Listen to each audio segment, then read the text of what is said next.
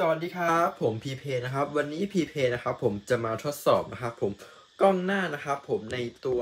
iPad Air 5 แล้วก็ iPad Air 4 นะครับ จะมีความแตกต่างกันอย่างไรครับ อันนี้ผมใช้เลนส์วายกับเลนส์ ultra wide นะครับ แบบเดิมๆของกล้องทั้ง 2 ตัวเลยนะครับ ก็จะเป็นแบบนี้นะครับ ในส่วนตัวนะครับผมก็คือ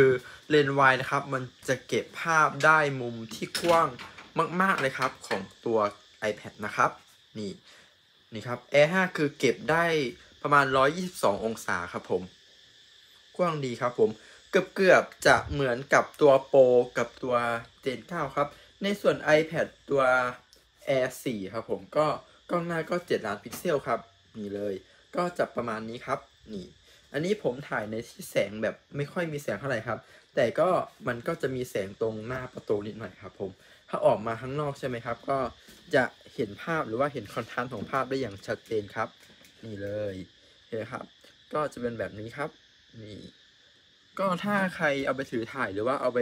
สอนออนไลน์เอาไปเรียนนะครับ ผมว่ากล้องอัลตราไวได้เปรียบมาก ๆ ครับในการใช้งานครับ ผมว่าตัวเลนตัวเลนวายครับของ Air 4ใกล้เกินไปครับเวลาเราจับเราต้องยื่นไปไกลมากตอนนี้ผมปวดแขนมากนะครับ เพราะว่ายื่นไปไกลครับ นนี้ครับ อันนี้คือเสียงจากตัว iPad Air 5 นะครับ ก็ทดสอบนะครับ 1 2 3 4 ตัวนี้นะครับเสียงจาก iPad Air 4 นะครับ 1 2 3 4 ครับผม นี่ ก็จะประมาณนี้ครับ ถ้าเราเดินนะครับก็จะประมาณนี้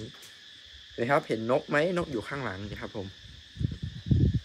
อากาศก็วันนี้อากาศดีครับผมก็จะประมาณนี้เลย เห็นนกตัวนี้ไหมครับ มันมาอยู่ประจำครับ ไปแล้วเมื่อกี้นะครับผม